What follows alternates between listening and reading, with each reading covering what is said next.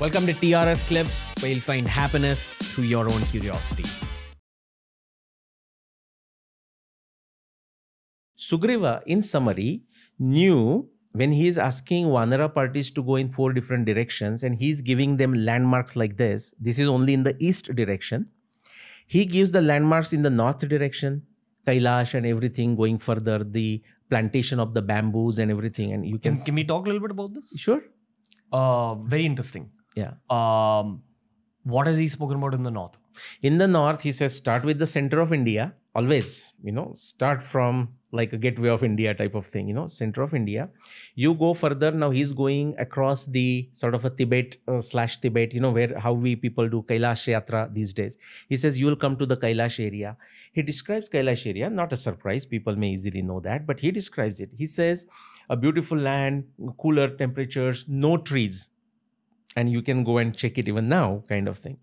After that, he says the land of many rivers which is if you consider which land is that? That is the 40 latitude today like the, uh, the western part of china today's china and then turkmenistan and kazakhstan that area.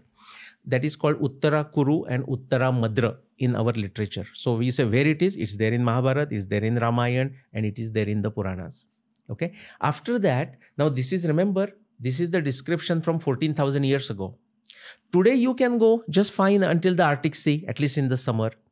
But Sugriv, 14,000 years ago, he is saying, and I'm putting the 40 latitude just to make a point.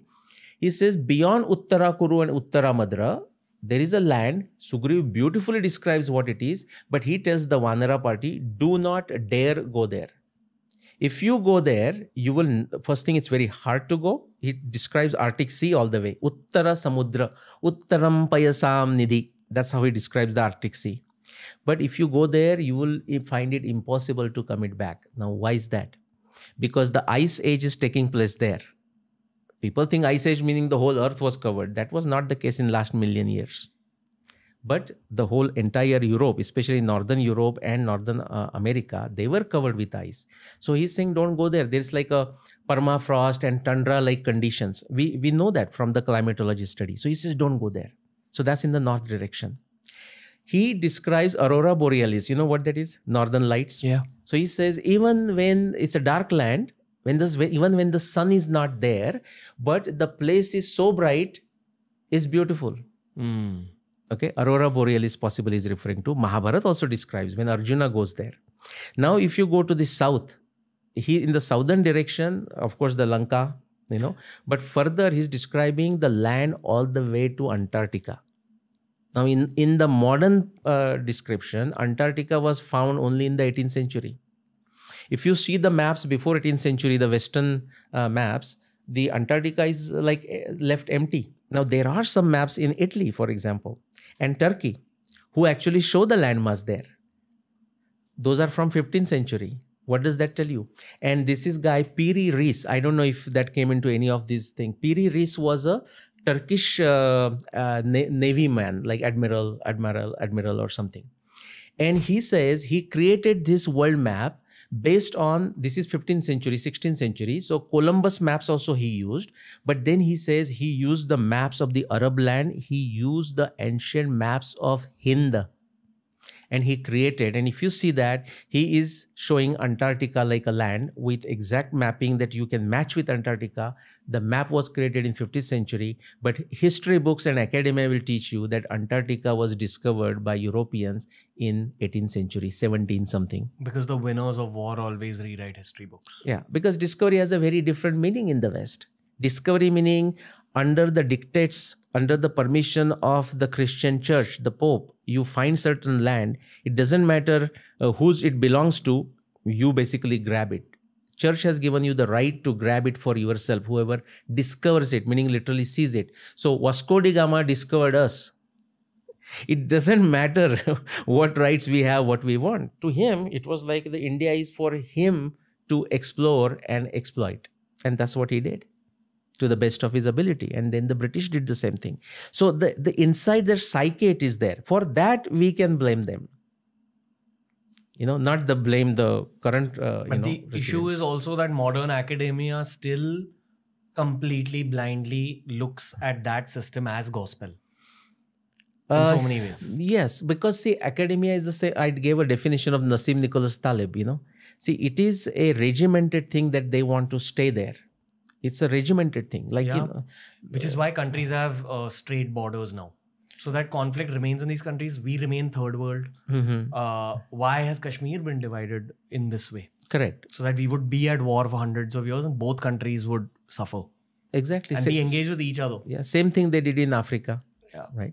It's it's a century long geopolitical ploy that's actually still working. Right. Teaches us a lot about how human society can work also. True.